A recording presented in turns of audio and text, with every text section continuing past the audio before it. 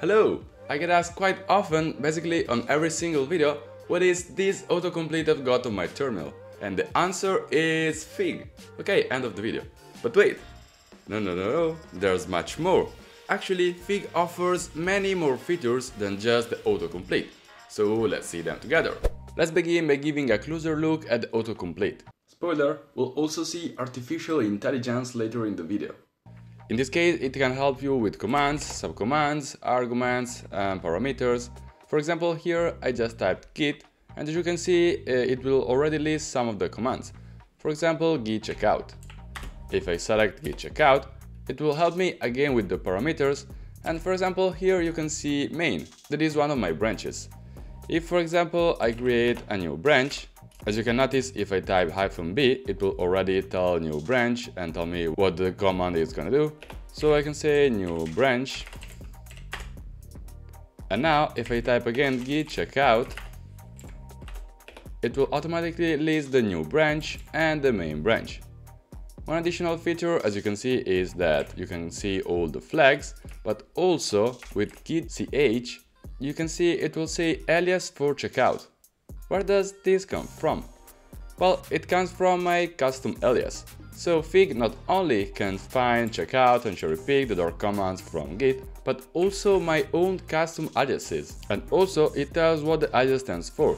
For example, this is as simple as checkout, but if I type git lgo if you follow my videos, lgo is my personal alias for log one line. And again, Fig is able to autocomplete my specific command. One more autocomplete feature, other than for example giving me autocompletion for commands and parameters, is navigating the file system. For example, if I type cd, it will automatically fill the autocomplete dropdown with all the folders it can find from the current location. So that I don't even need to, to start typing because I already know what the folder will be. Anyway, if I start typing, it will filter the dropdown, as you might expect from a proper autocomplete. The coolest feature number 2, right after autocomplete, is Fig AI. Well, we're in 2023, right? AI is everywhere and also on the terminal. Let's run the help command for a second and let's see that this will translate English from Bash translation.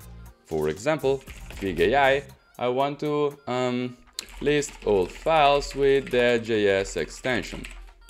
In a couple of seconds, it will generate a script that we can execute edit, regenerate, or well, other commands. Let's say execute, and those are the files in this folder that have the JS extension. But, you know, I use the terminal mostly for git commands. So Fig AI can help us, for example, with git command to remove the last two commits, but keep the changes.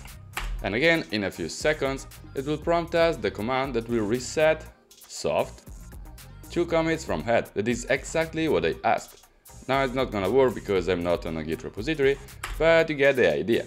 If you open the Fig dashboard, you can see there are many other options, for example script and CLI, where you can save your custom scripts or grab them from the script store. Why is this useful?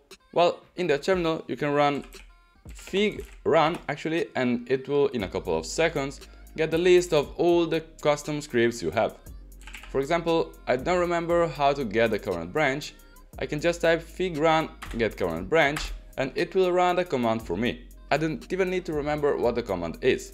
If you head over from the Fig dashboard to my shell, you can find the plugin tab over here, where again from the plugin store, you can find a lot of custom plugins to even further enhance your Fig and terminal experience. You also have this dotfiles section where as you can see I'm not really using it, but I probably should start because it's quite handy to have all the paths, secrets and scripts all grouped here in a single window. Oh wait, did I mention that autocomplete is also open source? You can contribute here to the GitHub repo and actually plugins are open source as well. You can just head over the with page from GitHub and you can find all the open source repository they have. For example, like I said, the plugins is a repository and here you can find all the plugins you can find on the Fig dashboard and you can even add your own here available for everyone. And that was it. This wasn't really a paid sponsorship with Fig, but I just wanted to answer to all the questions I constantly get about my autocomplete in the terminal. I had a lot of fun exploring even future Fig because as you can see I'm not really using myself all the features it offers, but now like I said I might start using for example the dotfiles features. And what about you? Did you also know Fig or are you gonna use the other features it offers? Let me know in the comments. By the way, this short video is now over, so if you like my content feel free to subscribe to the channel, there's a button here and if you want to continue watching my content, you can click on the video over here that the YouTube super smart algorithm will select specifically for you. Like I said, we're in 2023, so artificial intelligence. Well, thanks for watching and see you in the next video.